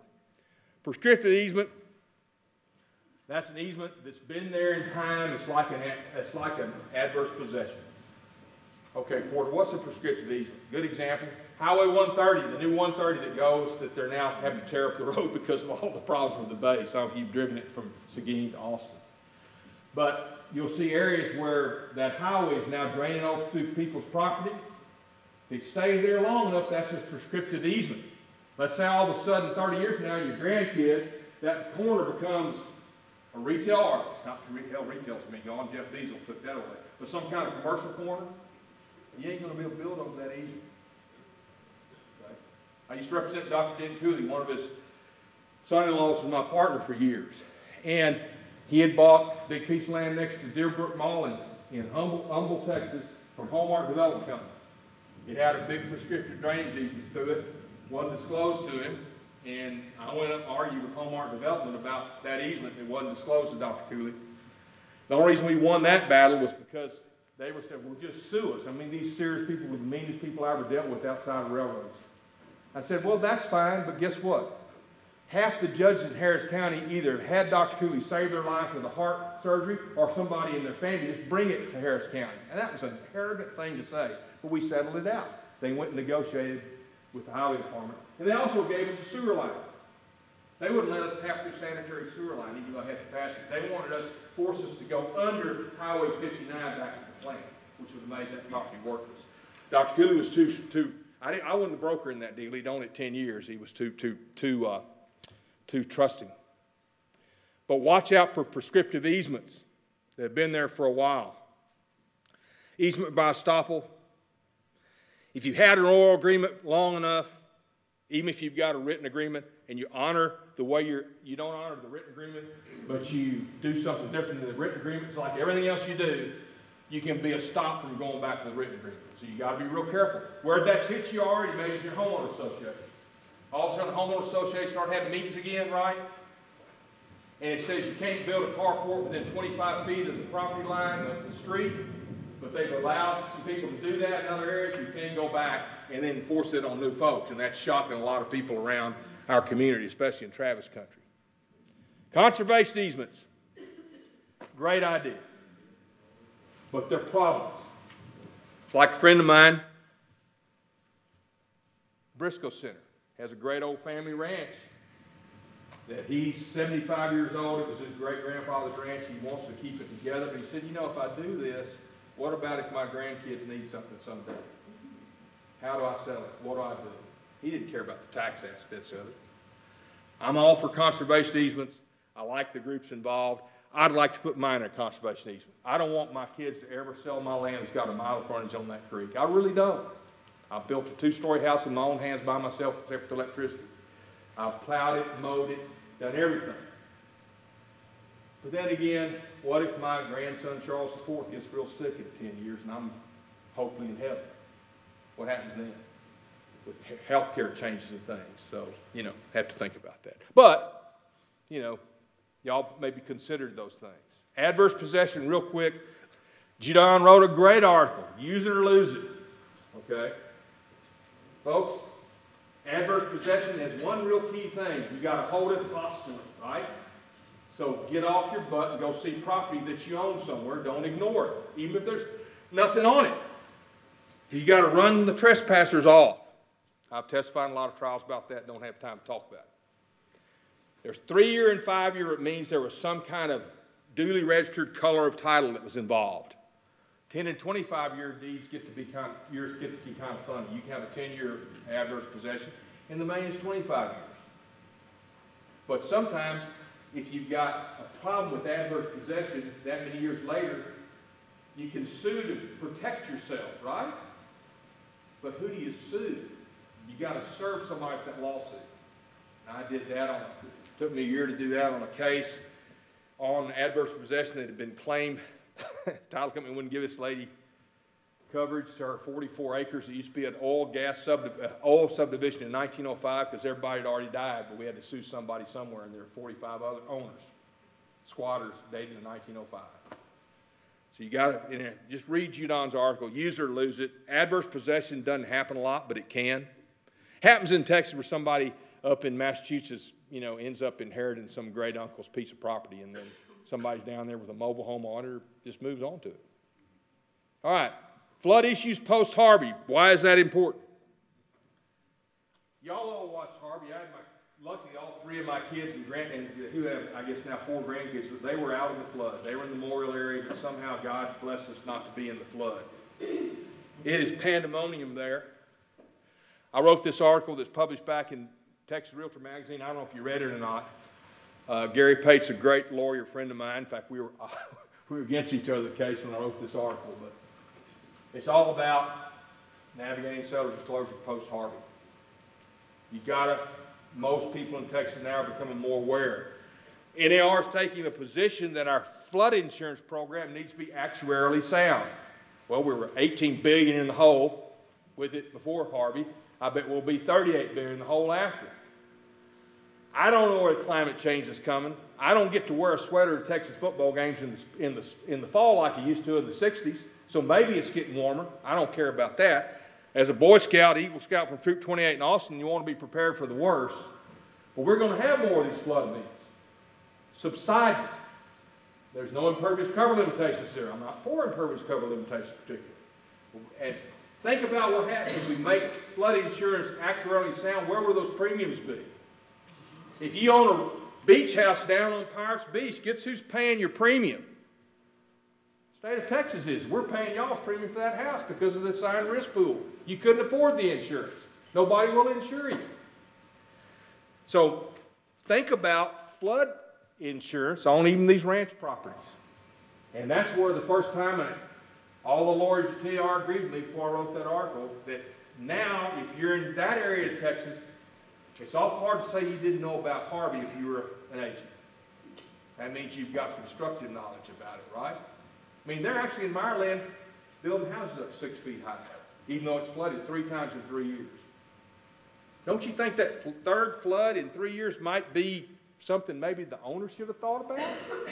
Why are they doing that in Meyerland? Because they don't want to live in Katy and drive an hour and a half into town each way. But flood insurance is something more to think about, I think. Look at this one. This wasn't in the Houston Chronicle. This is in the Dallas Morning News. Front page. All those houses that flooded in the Barker Reservoir, guess what the plat said? This subdivision adjacent to the Barker Reservoir is subject to extended control and inundation under the management of the U.S. Corps of Engineers, Army Corps. Now, would a real estate agent have the duty to tell the buyer about this subdivision plat? Being scrupulous and meticulous, yeah. But who thinks about plats? I mean, a developer like I, I am, I think about it. But that was already warned. You know, Cinco Ranch, that was the five guys. Fishback Wheelers, one of my best friend's grandfathers. Uh, uh, Mosbacher, Chad Nelms, and Bruce Harrison's family, and one other. Aber, no, I think it's that, yeah. That was that huge ranch there. The only big tract left in the Harris County is 10,000 acres the Josey family owns. But there's warnings like this everywhere, so pay attention to flood insurance. Don't try to use that little funky little flood insurance map they give you that's a bad scale. Get you an engineer to interpret it for you. Tell that surveyor to put that line on your survey.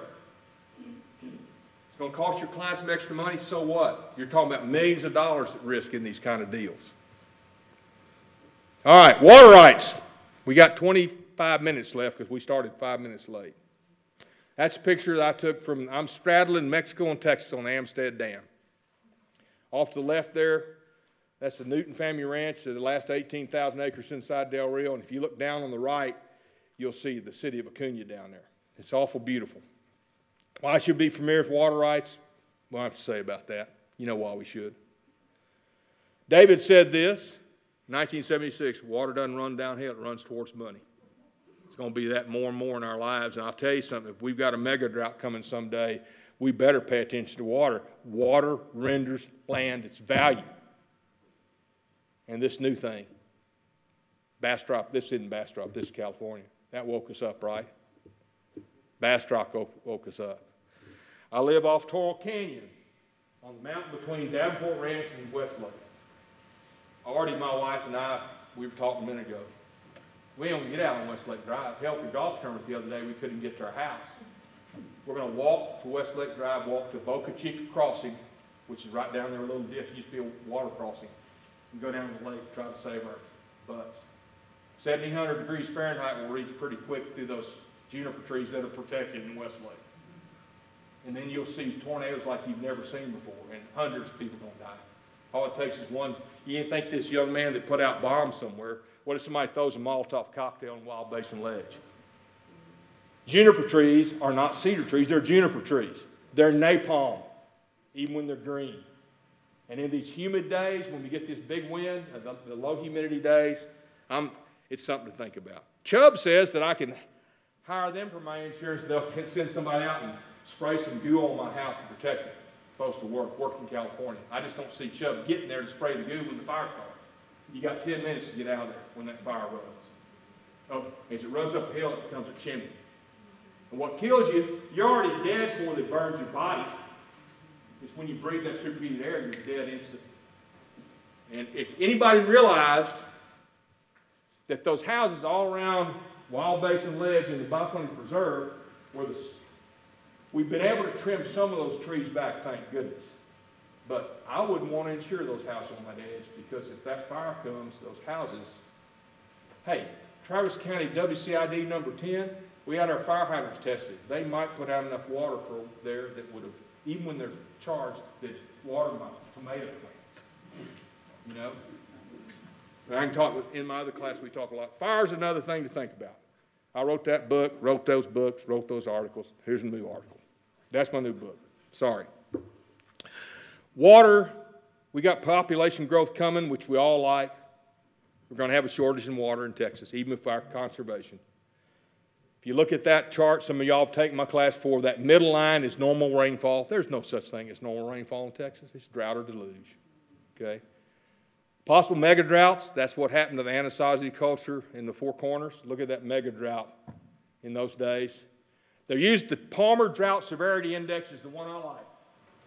Doesn't just count tree rings, it counts, it analyzes the soil the tree's in, in grids, to see how much moisture it can hold. I mean, we got, we live in drought. If there is global warming in this climate change, which I, I don't doubt there is, we could have a 35-year mega drought someday. Now, drought's not, you look at, try to look up the definition of drought. There's all kind of definitions. Doesn't mean it never rains, it just means there's not enough moisture in there. If you talk to a farmer, what does he talk? He doesn't talk about rain, he talks about moisture, right? That's morning moisture and soil moisture, things like that. 1950s drought. Actually, it extended into the 70s. Who owns water? Texas.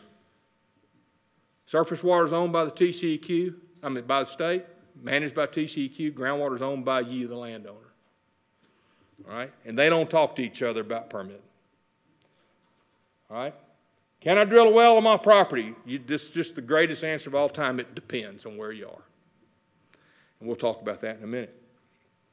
Oddest case in Texas, the rule of capture. Reason I bring this up, and y'all have heard of House Park, you know, football field where I played at Austin High. That was his, Colonel Edward M. House's family's house there. He had, that was his stables. He was Woodrow Wilson's bagman all before World War I until Wilson got sick and Miss Wilson ran him off. But his father started the Houston and Texas Central. Rule of capture comes from a 1902 case that started in Denison, Texas, where all the railroads come up through Denison to go east. Remember, by that time, all the railroads had, had conglomerated together, the big railroads. They finally, in 1880, got a standard gauge distance between the tracks. For 1880, you take one little railroad here with a track this wide, have to unload to get to another railroad with a wider track. Okay? all the eastern capital and all that goods flowed through Denison, Texas, which is the birthplace of Eisenhower. It's another great book on Eisenhower, the greatest president we ever had, in my opinion. You don't agree. But the railroad company comes to Mr. East's house and knocks on the door. He's a policeman there.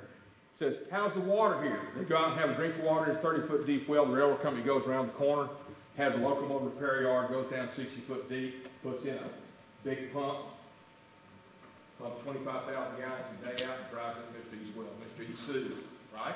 Only source there was for water for people in this neighborhood was wells because there wasn't a municipal water system. There weren't municipal water system in Texas until the 1920s pretty much. Well, Mr. E. sues, and the first thing I found in an article I wrote for History Journal, turns out that uh, he didn't pay a jury fee in Denison. Well, why is that? You can pay a jury fee for $2 and it's, it's unilateral. Well, because everybody worked for the railroad. He's pretty smart. He lost at the local district court. He has no water. The big Houston Railroad Just said, you don't, they couldn't have known that was gonna do to you, we owe you nothing. Went to Circuit Court of, uh, Appeals Court in Dallas, and John Book out from New York said, that's just wrong. There's a correlative right in groundwater. What I do to that water affects what David's water is. There has to be a right there, so railroad company paid Mr. East eleven hundred bucks. Well, Baker Botts is a very smart law firm. They've been around since eighteen forty. It took it to the Supreme Court. Supreme Court said, no, you're overruled. Based on the English case of eighteen forty-three, Acton versus Blundell, where two guys that had little industries in eighteen forty-three in Liverpool. Mr. Mr. Blundell dried up Mr. Acton's well, and because you couldn't see underground, there's no liability. So the rule of capture came into our law at that time, and it still exists in Texas. That's where it's all from. What is it? This artist drawing I did 20 years ago. We're gophers looking at that water, Jennifer's got more money. She puts in two wells. She starts to suck up the sand with it, and all the groundwater goes to her. Me, Peter, and Bill, we're out of luck. There's no remedy on the rule of capture. Now, don't think about all aquifers being a bathtub. There's all different levels, like that upper level there. If we're in different confined layers, then they're not affect each other, even though we're just beginning to study the pressure differential. Down here, likely, we would affect each other. There are nine major aquifers and 21 to 23 minor. I argue with people about that all the time. And they're all infinitely different in Texas. Okay? We have control of the rule of capture to a degree. Lawsuit said you can't maliciously harm a neighbor. You can't waste it, but of course that's subjective. I would never waste. Whatever I'm doing is not wasteful, right? Prove it.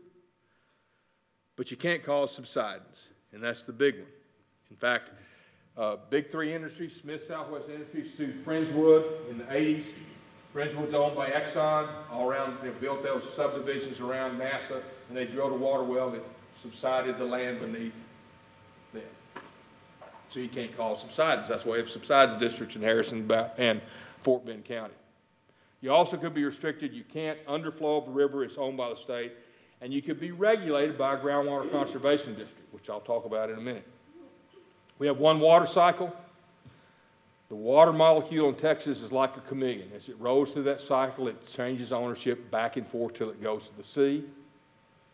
You want to write this down if you hadn't taken my class, an acre foot's 325, 851 gallons every time. We measure by the acre foot, about what it takes to cover a football field. Every inch of rain that falls on any one acre brings 27,154 gallons, period. Always. That's how you can figure out how much you can catch off your roof. And water ignores political boundaries. Yet we manage our groundwater based on county boundaries, which causes problems. 70 to 80% of our water is used for irrigation still. And the way you understand water rights is think about three geological containers. The first one is surface water, water that flows above the ground in a water course. We follow the old Spanish colonial way, prior appropriation, first in time is first in right, period. We went through a long process in the 60s to finally prove all that, which I'll talk about in another time. Don't kid yourself. I don't care who owns the bed and bank underneath that stream. The water is owned by the state of Texas. You got to have a permit to use for anything but domestic livestock use. Okay? That's why if you're out there pumping water out of Lake Travis without a permit to water your carpet grass, you're going to get in trouble. But they don't ever catch you until the lake goes down, then they see your pipe out there. We got water masters. Surface water masters, we've got four of them. If you're in that yellow area, the Concho River, the Texas Conchos River, and I've got a 50 acre foot water right to use pump water out of that, out of that river, I still have to go to the water master and ask for that because the water master makes a decision the first year how much water will be in that stream. Up there, you've never been able to get your full right for the last 30 years, never been enough water. But if I go sell it to somebody and I say, hey, I got 50 acre feet, I better tell them I never took more than 20 acre feet because that's all that's allowed. Because the other fellow on the other side will be upset with you and sue you for $5,000 an acre foot or more for that 30 acre feet. That's a representation thing. So water masters actually control segments of certain streams. And look at that all over Texas. The Rio Grande Water Master, South Texas Water Master, now we got Brazos Water Master. Okay?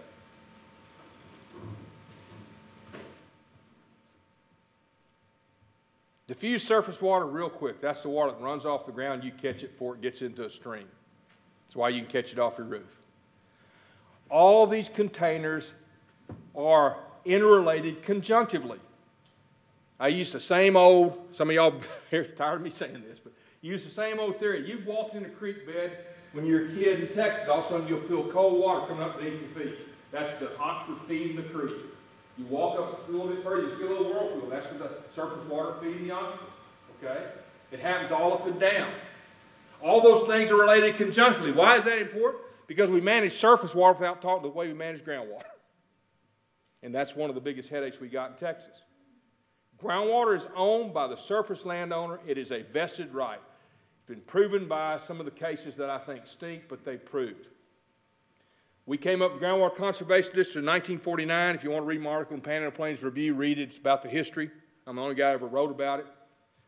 Uh, we now have 100 groundwater districts cover 254 counties, but they don't have any money.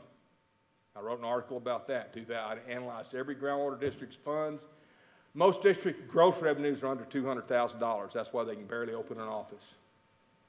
Some of them have $20,000 in total revenue, the one out in Marfa.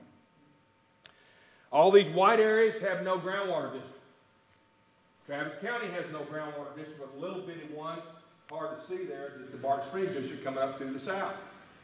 We just had a bill passed to have a district. I'll show you an article about it. We can't even afford to have the election, so there's not going to be one in southwest Travis County. Can't afford to have the election. If you're trapped in one of those districts, right, without a groundwater district, rule capture runs. Even if, say, I've got a permit, and I've got a permit for groundwater district, they permit you for irrigation and other uses. Okay? Domestic livestock uses always usually exempt from permit. Different levels you can take, but they're always more than you'll ever use anyway. But the rule capture even runs in the district. If I have a 50 acre foot right to use irrigation water, next to my friend Big John down in Florida has the same 50 acre foot right from Evergreen District to use irrigation water, whoever gets it first gets it. If there's, if I take all that water beneath our property, even though he's got a permit, that's not a guarantee he can get that much water. And he doesn't get to sue me over the rule of capture. A lot of people don't like the rule of capture. I feel both ways about it. We do a bunch of other things. There's a district funding. Here's the article, came out yesterday. it was estimated for us to have the election in the new groundwater district authorized by the legislature of southwestern Travis County that Paul Workman has worked on for years Cost $150,000, $200,000 for the election. They didn't have any money, so they canceled the election. They don't have a board. Right here in Austin, Texas, there's no groundwater district. I can drill a water well. They've made something. The city's got involved like they would normally do. I can drill a water well next to somebody else. Pretty much take the water I want. But just wait till I pull out enough water underneath that house where it causes that sandwich of limestone to come down and break that slab, there'll be a lawsuit about that subsidence here, but it hadn't happened yet. You can drill a water well in Houston, West University Place, you can get a drill in there. But you got to pay the same amount for the water that they pay the city of West University Place, so why do it? We managed it differently. Got about 10 minutes. Obviously, wells affect other wells. Minerals. Okay? I wrote an article about it in the in, our, in the Texas Realtor several years ago. Look it up, 2015. It came from TREC asked TAR to put together a task force to rewrite the mineral reservation document, right? That's the one addendum we got. I was on it with several other broker, brokers around the state and several lawyers. And we, we wrote, I think, a good reservation mineral rights. We also have the accommodation doctrine. Even though someone leases, I leased a Marathon like I did for a while in my place, they didn't drill a well. I wish they would. But they have to accommodate my activities there within reason. Okay? They don't just get to come in and knock over my irrigation system. All right? That's a, something that you just need to be aware of. Here's, our, here's the, the actual addendum it does not include water, but if you don't restrict the water, they can use the water, the sand, however they want to drill. Okay? It's only used if you're going to reserve all or part of the mineral estate. All right? You read this article, it's, it's, it, we worked on it, I wrote, wrote that article, and a lot of lawyers looked at it. I think it's a good article to help you. But let me tell you something, folks. Please, for goodness sake, consult an attorney about mineral rights. Please. I could have seven landmen up here. They may give you seven different opinions about who owns mineral rights on an old piece of property. Most of the rentals have been severed out through the years, right? But if they're not mentioned in the deed, they've not been severed, they automatically transfer unless you reserve them, right? You got to understand that better. Y'all know that. You know how it works, I think. That is, a, I think the addendum is really good. Not because of me, because there was one lawyer from McGinnis Law Group, sorry, I can't remember his last name now. He'd written 1,000, count 1,000 attorneys' opinion letters about who owned minerals on a piece of property. 1,000 in his career. You know how risky that is? He put a fresh liability line saying who owned minerals on this property for and gas companies from McGinnis Group. So believe me, and another guy from Cox Smith knew what they were doing. Modern court case will finish up. Bragg versus Edwards Aquifer. It said that when the Edwards Aquifer Authority back in the 90s, this took 20 years to go to trial, which is ridiculous. It said that you're denied the amount of water beneath your property under certain situations. You ask for more and they give you less, that could be a taking, they owe you compensation. That case went on for 20 years. They got a check for $2,500,000. Okay?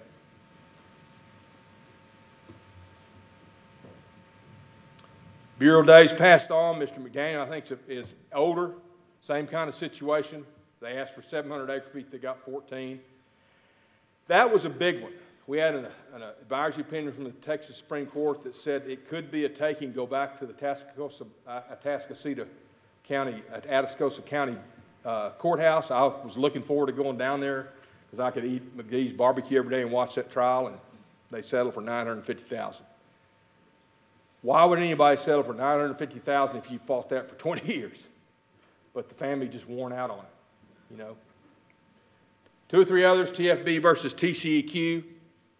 The Texas Farm Bureau, TCEQ, and Carlos Rubinstein, a dear friend of mine, was head of TCEQ, during the drought of 2011, in the Texas Water Code, the surface water code, it said that if there's a municipality that's in danger of health, safety, and welfare, then the TCEQ could suspend senior and junior rights.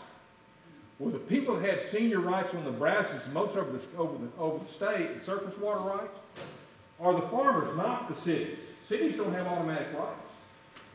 So he said, well, it's so bad in Lower Brazos, we're going to suspend the rights. So 700 farmers were about to curtail the rights to use what little water was there. And, and so he said, look, we need to protect these people live in so they wash, the wash, flush their toilets and not get all these diseases. Texas Farm Bureau, great people, sued, went to the Supreme Court, said, you're right. Uh, farmers get the rights of senior priority lists. So whoever's first in time is first in right in Texas, even on municipalities. Those little cities need to put on notice. Go out and get you some alternative water source. But then you don't want to pay for the bonding interest, do you, to do that? I mean, it's going to come up, folks, pretty soon.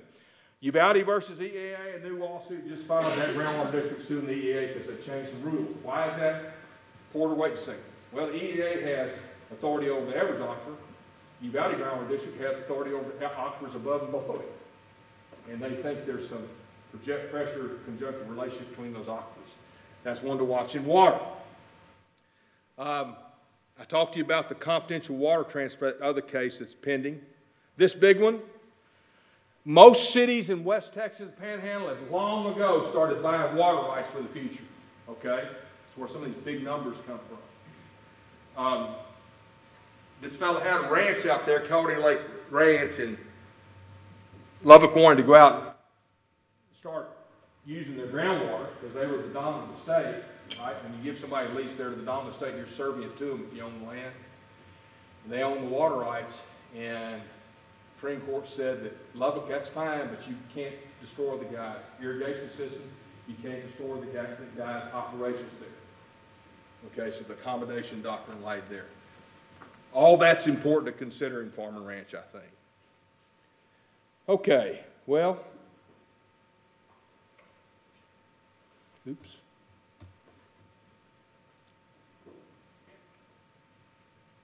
I'm about to finish up.